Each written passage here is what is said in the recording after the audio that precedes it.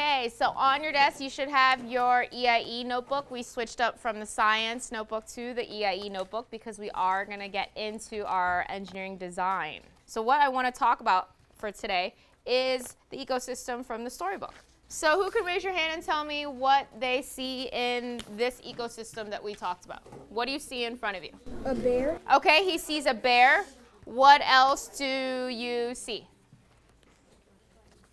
Eagle. Okay, there's an eagle. Okay. So let's take a look. What makes the picture that you're looking at a food web? Look at what, see where all the arrows are pointing onto the food web and who it's pointing to. I want to clarify something real quick. A group over there mentioned um, why is the butterfly pointed to the mouse or the rat and then the rat is pointed to the bear? Now, it's not saying that the butterfly eats the rat or the rat eats the bear, okay? That technically doesn't make too much sense, but what it's showing you is the energy that's being given, okay, to the next one. So if you're looking at a butterfly, who's the butterfly giving energy to? The rat. And who is the rat giving energy to? The bear. So what we're going to do today is take a look at our lesson. So our lesson for today is called a slick idea.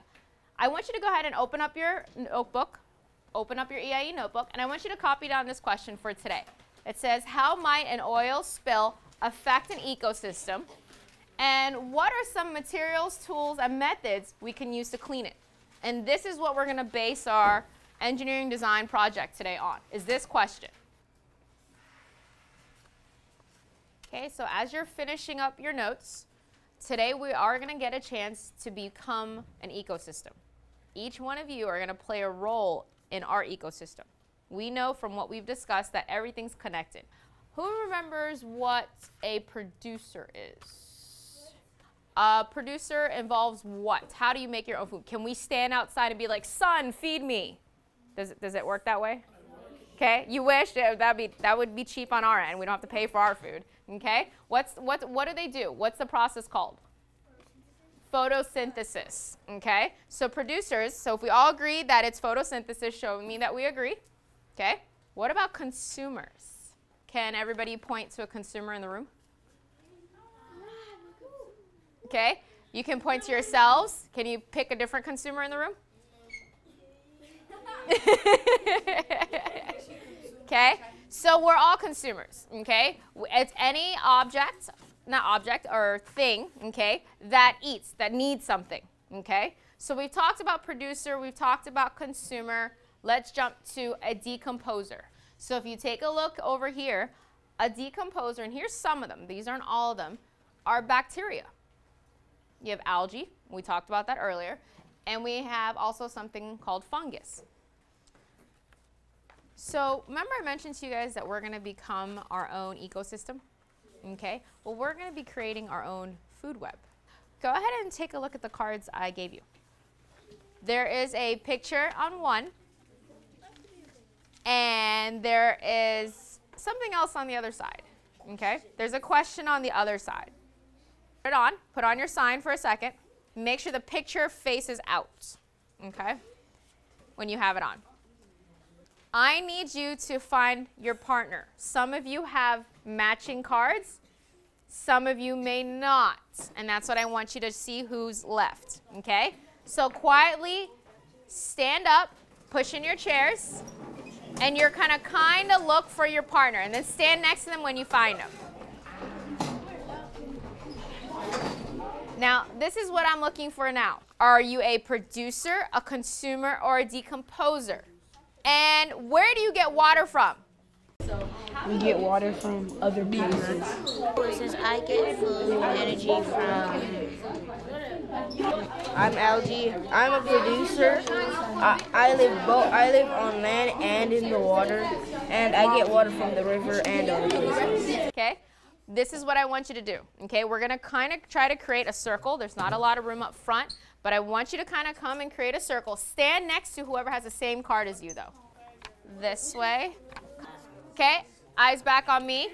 Let's start with the deer. Where's my deers at? Deer in the middle. okay. I am a deer and I am a consumer. I live on land. I get I get water from the river. Okay. And what do you get energy from? Grass. okay, grass or plants. So what he's gonna do over here is he's gonna make a line from the deer to the green plants. So he's helping us create our connection here. So now we're gonna go ahead and do green plants, okay, to the sun. So if he's making our web, you go bear to deer. Also put a line to the adult salmon. Green plants. And the goals as well.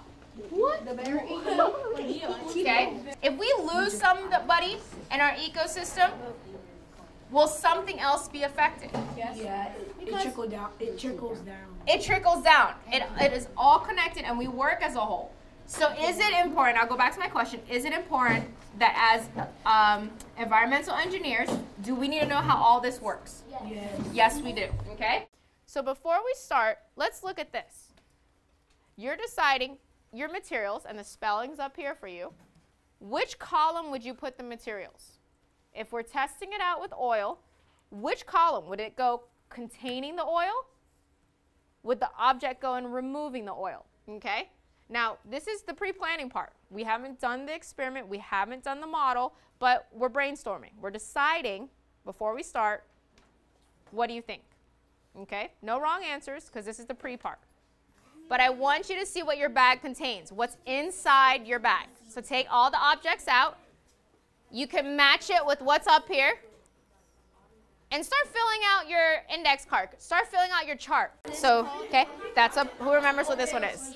Uh, a pool boot, a, pe- a pie bee. Everybody repeat after me. Say pipette. Pipette. Repeat it one more time. Pipette. Okay? So where do you think this will go? Which column do you think this will go under? Would it be Okay? Oh, no, it. It's either containing or removing. What do you guys think? Notice how you guys each have a yellow sheet.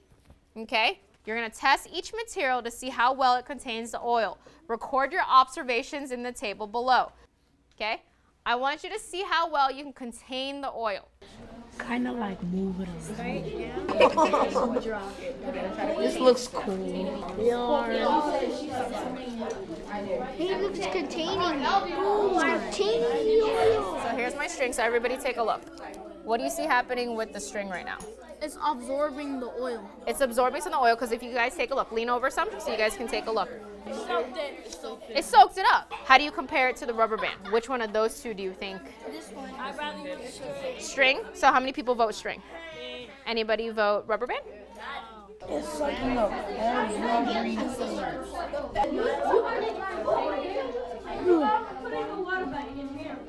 It doesn't do that much. It will take years to clean out the river. Yes, it will. If you, everybody was using a bunch of spoons. Yeah. Didn't Okay.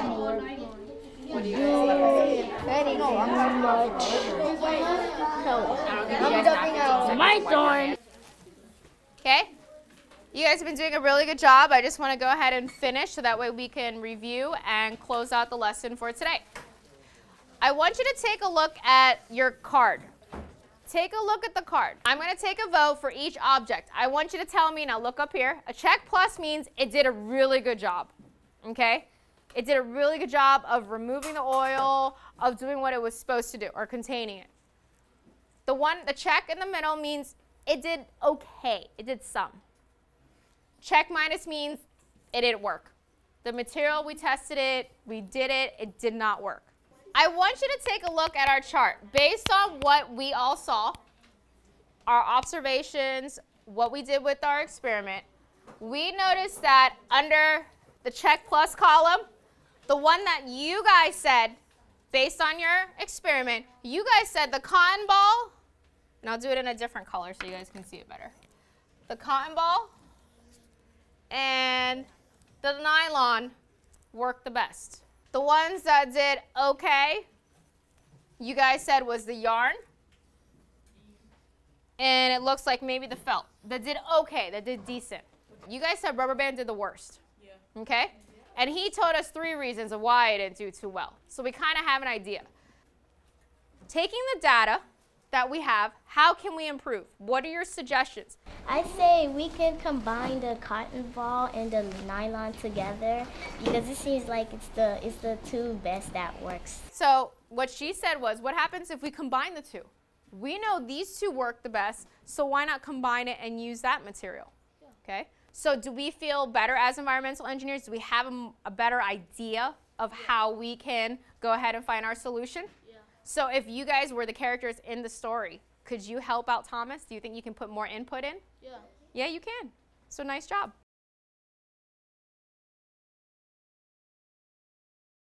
in lesson three, the students get a chance to see what the materials are. And I think that's really important because a lot of times when we do experiments, we just hand everything over to them and then expect them to do it. But with lesson three, they actually see how the materials work, what doesn't work. And that goes for all the lesson threes for EIE. And the nice thing is when they're able to touch and manipulate everything, they have a better grasp now when they get into your planning piece, your creating piece, and of course, your improving piece.